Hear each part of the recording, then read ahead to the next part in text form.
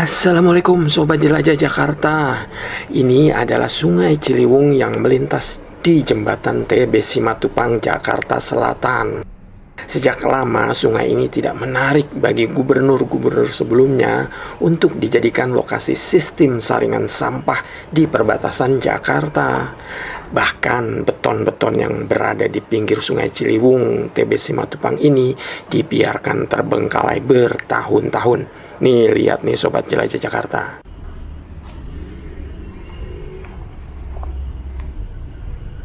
Sobat Jelajah Jakarta, sebelum Anies jadi Gubernur DKI Jakarta, saya sempat berkunjung ke lokasi Ciliwung di bawah jembatan TB Simatupang ini. Ide sistem saringan belum terlintas sama sekali, hanya sebatas menjaga supaya air Ciliwung di sini tidak meluber ke jalan, ke rumah-rumah warga pada saat banjir datang.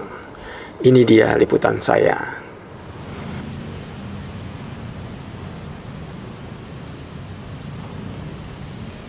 Nah, pemirsa, saat ini saya tepat berada di pinggiran uh, Sungai Ciliwung yang memang karena tidak banjir, maka uh, airnya surut ya. Di sebelah sana itu ada tanda debit air, kenaikan-kenaikan air nanti uh, pemirsa akan lihat berapa ketinggian air yang paling tinggi dan paling rendah.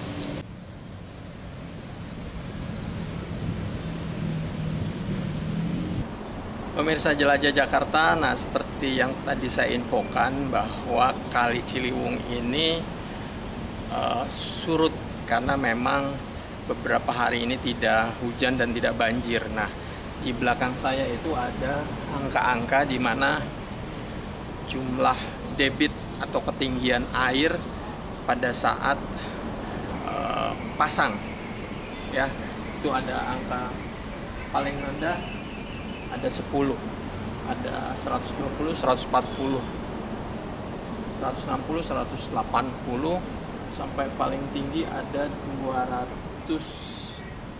sudah tidak kelihatan lagi. Mungkin sekitar 280 lah. Ketinggian air. Artinya di Ciliwung ini pernah mencapai sampai 280 di tempat sini ya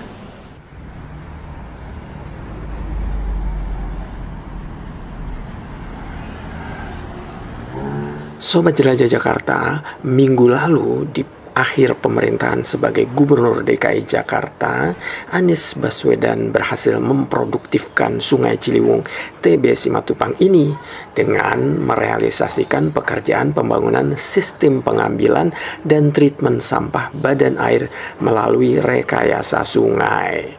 Ini adalah proyek pertama kali di Jakarta, bahkan pertama kali di Indonesia ada penyaringan seperti ini Konsep perencanaan saringan sampah ini hasil pembahasan bersama Institut Teknologi Bandung ITB dan disepakati dengan Balai Besar Wilayah Sungai Ciliwung Cisadane BBWSCC.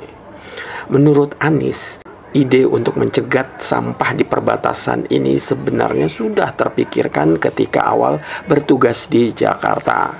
Hal ini karena banyaknya volume sampah yang menyumbat di pintu air Manggarai, Jakarta Selatan.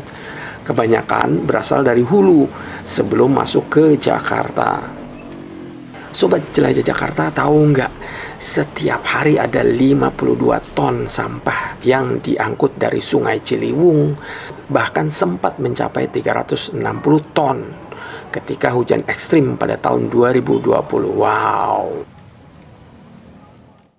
Untuk merealisasikan pekerjaan pembangunan sistem pengambilan dan treatment sampah badan air melalui rekayasa sungai ini, Pemprov DKI Jakarta mempersiapkan anggaran dari APBD DKI tahun 2020 senilai 195 miliar rupiah.